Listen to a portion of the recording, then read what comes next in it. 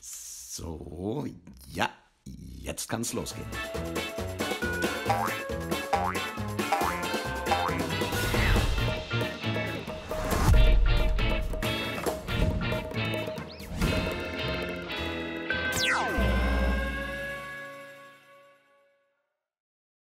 Zwei Meter und sieben Zentimeter. Das reicht aus für eine Sendung über Corona. Bravo, Dr. No. Sie denken aber auch an alles.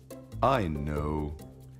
So, und äh, jetzt mal den gewohnten Spaß dieser Sendung beiseite.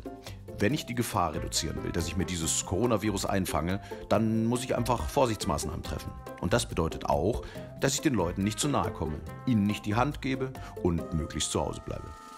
Wir leben nun mal in schwierigen, in schwierigen Zeiten. Da gilt es, einen kühlen Kopf zu bewahren. Oberstes Gebot unseres Handelns muss es sein, Infektionsketten zu unterbrechen und die Ausdehnung des Virus zu verlangsamen. Wir dürfen unser Gesundheitssystem nicht überfordern, sondern müssen ihm die nötige Zeit geben, erkrankte Menschen zu versorgen und zu heilen. Nach allem, was wir momentan wissen, verbreitet sich das Coronavirus überwiegend über Tröpfchen, möglicherweise auch durch eine Schmiereninfektion und über die Bindehaut. Bei Raumtemperatur hält sich das Virus bis zu neun Tage lang auf Oberflächen und bleibt in dieser Zeit infektiös. Im Schnitt überlebt es zwischen vier und fünf Tagen. Darauf sollte unsere Hygiene abgestellt sein. Waschen Sie sich die Hände, wenn Sie eine Türklinke angefasst oder auf eine Klingel gedrückt haben.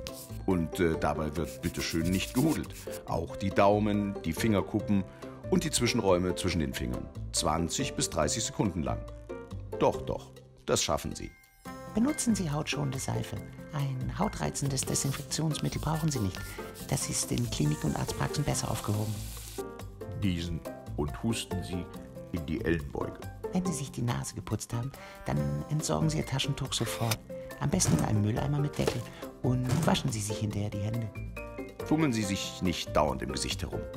Tragen Sie einen Mund-Nasenschutz in Läden und öffentlichen Verkehrsmitteln, damit Sie für den Fall einer Infektion keine anderen Menschen anstecken.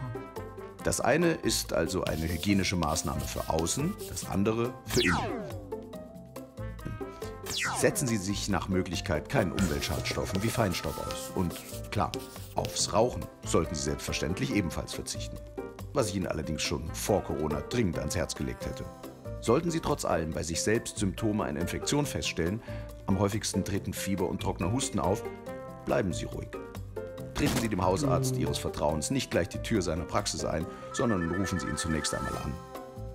Den ärztlichen Bereitschaftsdienst erreichen Sie unter der Nummer 116 117 und auch das Gesundheitsamt Ihres Wohnortes kann Ihnen sicher weiterhelfen. Dr. No? Ja, meine allerwerteste. Kontaktvermeidung hin oder her, aber sollten wir nicht mal die Zuschauer begrüßen? Oh. hm.